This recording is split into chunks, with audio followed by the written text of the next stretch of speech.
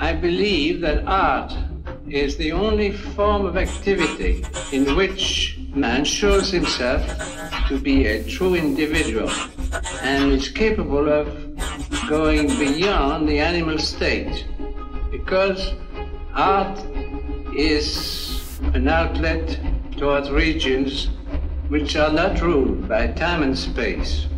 To live is to believe.